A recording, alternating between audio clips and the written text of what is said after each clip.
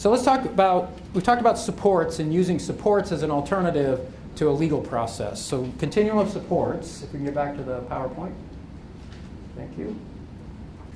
So this notion of least restrictive to most restrictive that shows up in this slide, that also, by the way, appears in the um, rules of superintendence, the, the guardianship rule that the Supreme Court promulgated, which is based on work I and other people did at the Supreme Court on a, on a, on a subcommittee that designed standards for guardianships. And these rules are based on those standards. So Ohio is a best interest state. That means you have to look objectively at what is the best interest for the person. Many other states are, um, are use a subjective test, um, but Ohio has always been a best interest, interest state.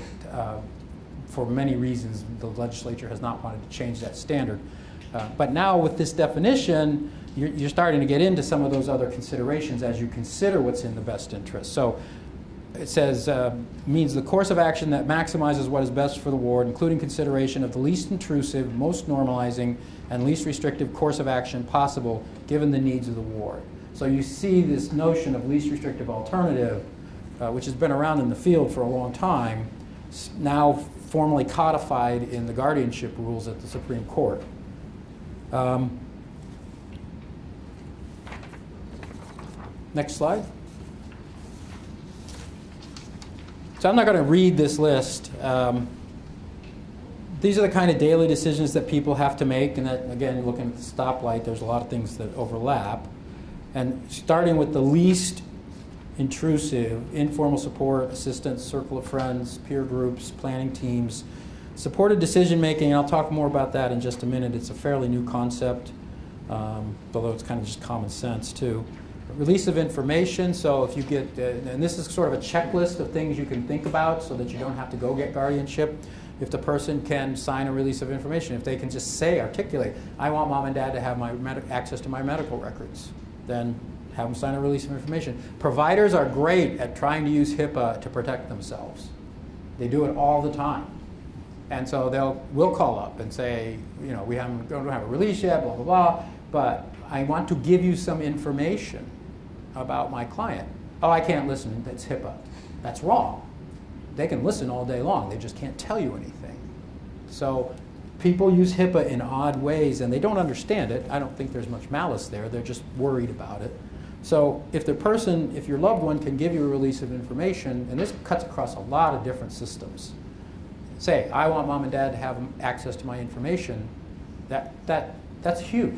That makes, means they don't have to worry about liability for violation of privacy laws, and they can give you information and they can engage in conversation with you. That's a huge one. Authorized representative is a formal uh, concept. It's in federal law for Medicaid and Social Security where you become that person's authorized representative. It's, a, it's like a payee. It's not, I'm sorry, it's like a release. It's like a power of attorney. It does both functions within that federal program. So you can be that person's advocate. You could speak for that person. When my daughter went on Medicaid, I don't think I'm telling any secrets here. You know, she's, she's young, she's got a baby, she's on Medicaid. Um, she had a problem with eligibility, so she made me her authorized representative, and I was able to call up and worked through the problem and eventually represented her in a hearing as her authorized representative. And I had access to all of her records.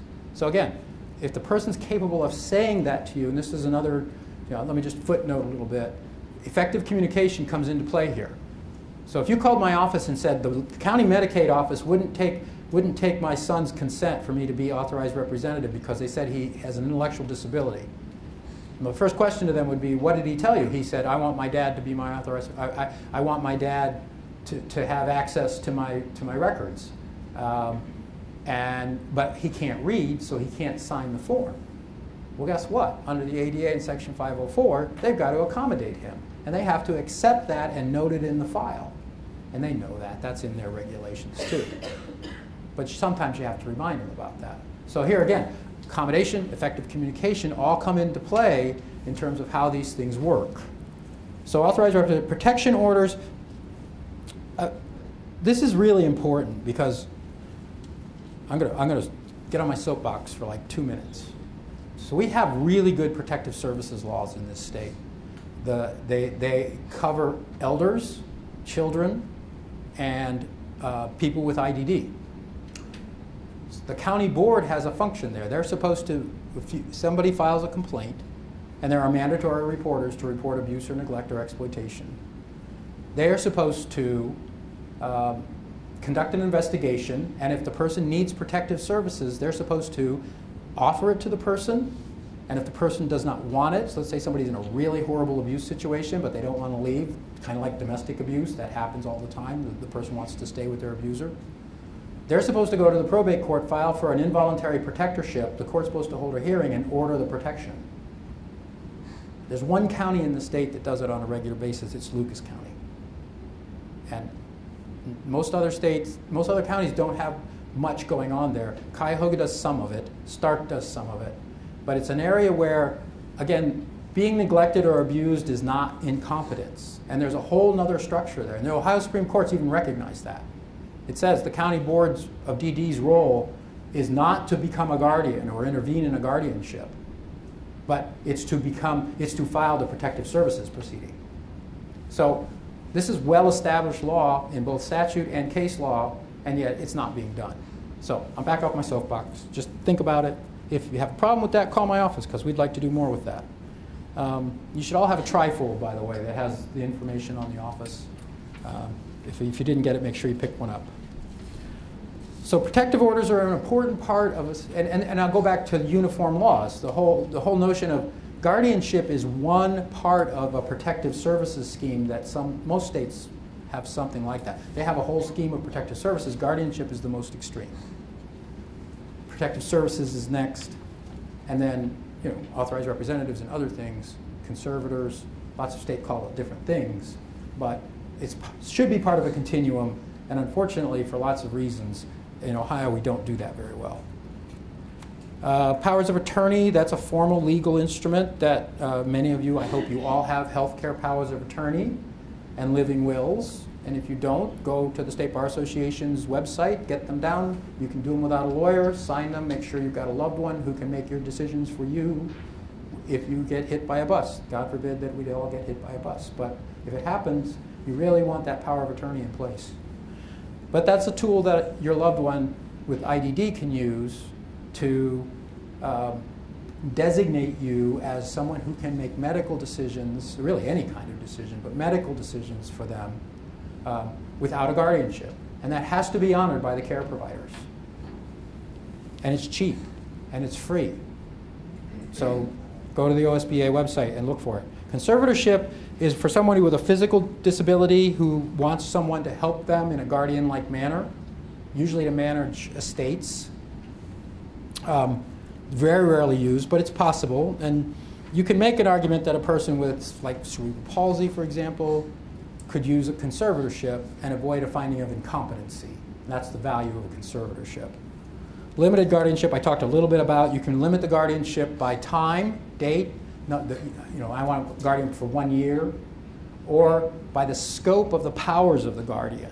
So within the guardian of the person, um, which is the person who makes medical decisions and where the person's going to live and whether they eat macaroni and cheese for lunch and that kind of stuff. Uh, you can say, I only want it to be medical, or I only want it to be with regard to a residential service provider, or something like that, depending on the needs of the person. And what happens is because you've limited the power of the guardian, the, the person with the disability retains all rights that are not touched on by the powers of the guardian. So it actually works really well because that person still makes decisions in areas where they're capable to make decisions. And in the more complex areas or the areas that they feel they need help in, they have a limited guardian who can help them with that.